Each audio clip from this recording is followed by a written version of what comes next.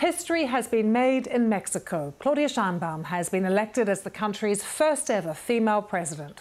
She told supporters she would not fail the Mexican people and vowed to reduce violence and improve the lives of women in a country where one of the world's highest rates of femicide. Huge celebrations in Mexico City main Zocalo, the square there. Ms. Sheinbaum will replace her mentor, the outgoing president Andres Manuel Lopez Obrador, on the 1st of October. Will Grant is there for us.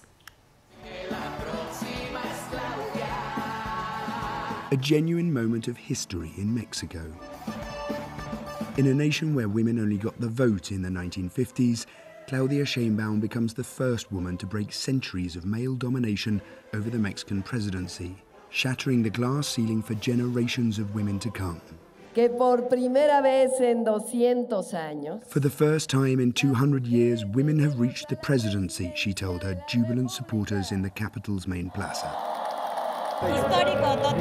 It's historic, completely. It's for the women who are no longer with us and those who are still fighting, not just in the political arena, but in any way where we have conviction as women. To see someone who comes from the fight at the bottom to the presidency, it's so emotional.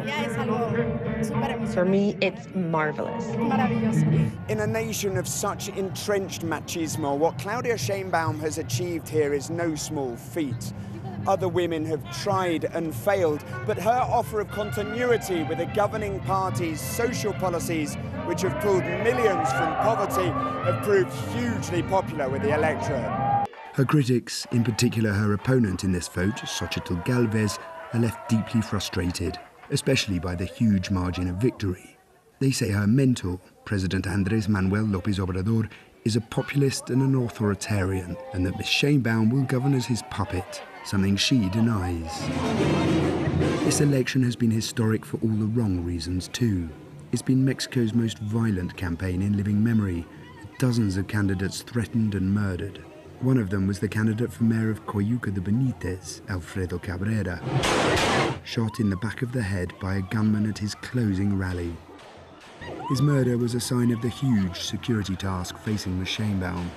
A staggering 11 women and girls are killed every day in Mexico, and her critics fear she isn't up to the task of tackling the problem.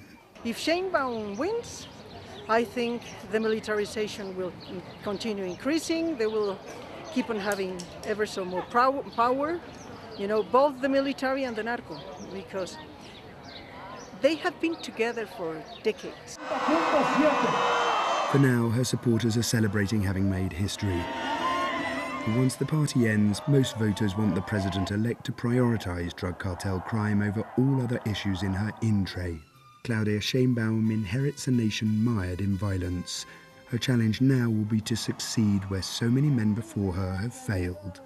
Will Grant, BBC News, Mexico City. Vanessa Rubio Marquez served as Deputy Finance Minister of Mexico, and I asked for her reflections on the historic moment for the country. Definitely, this is a huge historic milestone in Mexico for women, of course, but not only for my generation, but for the generation of my grandmother, my mother. It's been only 71 years since women were granted the right to vote in Mexico. We have had 20 women holding governorships in Mexico. I myself was the first deputy uh, minister of finance in the country in 2016. So we have been moving forward, but still it's a lot uh, in, in our way to find parity at the end. But yes, this is a huge milestone. She's incredibly close to the outgoing president, Andres Manuel Lopez Obrador. How will she be different from him, though? I think Mexico has a very strong presidency, a very strong presidential regime. So I think she will be her own figure. But it's yet to be seen where she stands in very crucial issues, such as the definition of the democratic foundations of the country, uh, the relationship with the uh, legislative, an independent uh, judiciary? How will she come along with uh, this militarization of the country over the last five years? Not only security matters, but the military now control the customs and have built a, a refinery and have built uh, an airport and own an airline. So, so that's a key issue to, to define moving forward. And also uh, very key policies such as public finances. We're running the largest public deficit this year over the last 35 years. Uh, what the uh, the new energy matrix and the new energy policy will be, uh, and also a series of elements in relation to competitiveness of the Mexican economy vis-a-vis the nearshoring expectation effect and our special relationship with the U.S., to which we're the first trading partner and the first source of, of imports. A lot to pick up on there, Vanessa, but how would you say she defines herself when it comes to her relationship with uh, the private sector? Is she pro business?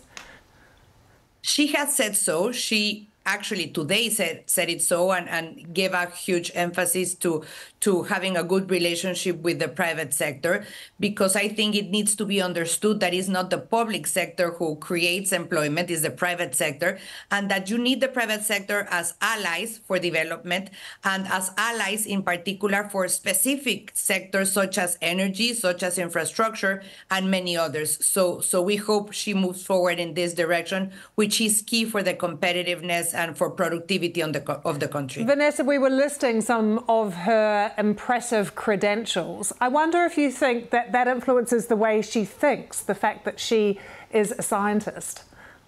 I think that will tell a lot, uh, and, and, and she would have a, a challenge to move from ideology to pragmatism to a more rational uh, perspective of government, and most importantly, to an effective government, because this is exactly what Mexicans want. Mexicans want their problems resolved. They want to live in a more peaceful country. They want to end up violence.